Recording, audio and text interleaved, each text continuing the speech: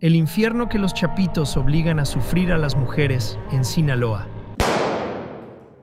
Desde que los chapitos comenzaron a escalar posiciones en el cártel de Sinaloa hasta llegar al más alto rango dentro de la organización criminal, el Estado se ha transformado en un lugar de sufrimiento donde la violencia que ha arrasado con la vida de miles de personas, muchas de ellas mujeres inocentes, que lamentablemente se encontraban en el lugar equivocado al momento en el que se desarrollaba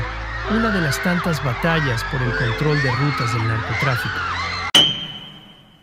Las calles de Culiacán, la capital del estado, han sido testigos de una escalada de homicidios sin precedentes, un infierno que se intensifica día a día bajo el yugo de estos brutales asesinos. Los chapitos, conocidos por no respetar los límites, extendieron su violencia hacia todos,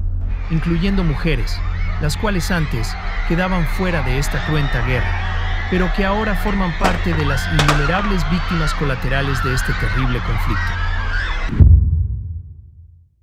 La estrategia de estos ambiciosos criminales es clara. Sembrar el terror y consolidar su dominio, sin importar cuántas vidas se pierdan en el proceso.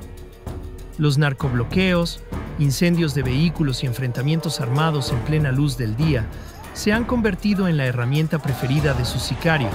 sujetos que no dudan ni un segundo en disparar a matar, atrapando en el fuego cruzado a decenas de civiles indefensos.